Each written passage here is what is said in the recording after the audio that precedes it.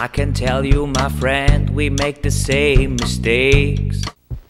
I tend to attract a rather circumscribed clientele. There are a group of cool people on campus, not meaning it derogatorily, but just people who consider themselves swinging. And if you consider yourself swinging, well, you just have to go to the coffee house for one reason or another. It's the place to be and the place to be seen. On our way to the west.